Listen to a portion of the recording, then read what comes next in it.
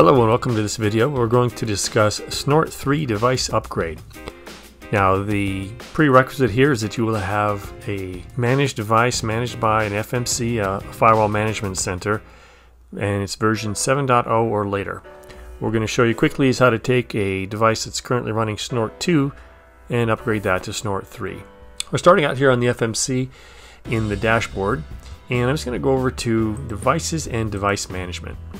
Here at device management you can see I have two devices I'm managing. I have one called FTDV that's running Snort 3 and you can see right next to the device name it says what version of Snort it's running.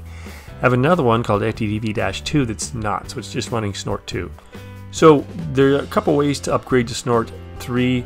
The easiest way is basically just to check the box by one of the devices and then you have this multi-select action that comes up here at the top that activates as soon as you check a single box and you can just select upgrade to Snort 3.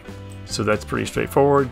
You get a little dialog here that explains to you what Snort 3 is, that it's going to require a restart, so there will be some traffic interruption, possibly depending on how your device is deployed. Once you're okay with that, you just click yes, and then that will be prepared. And next time you deploy, up here from the deploy menu, you will deploy and that will upgrade the Snort version to Snort 3. So let me back up and show you another way to upgrade to Snort 3. To show you another way to do this, I need to magically undo what I just did, so I'm going to actually step back in time.